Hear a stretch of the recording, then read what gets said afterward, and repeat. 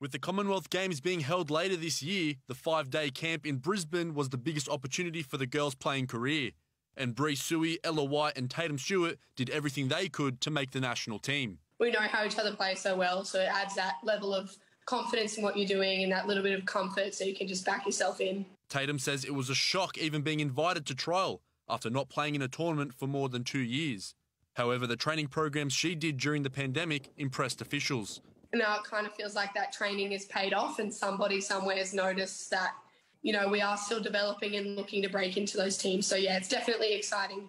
The girls have been taking advantage of playing alongside the team that competed at last year's Tokyo Olympics. It's one of those things where if you don't use it when it's right in front of you, you're only hurting yourself. And squad selectors still need to travel to New South Wales and Victoria for their five day trial program before the 22 women's squad is announced on the 18th. Tatum says she will continue to work towards the dream goal of playing in the Olympics. If I don't get selected, that's more than okay. I've really, really enjoyed this experience and I know what I'm working towards. So if I don't get picked, that's fine. I'll just keep working towards it in the years to come. Lucas Aman, 7 News.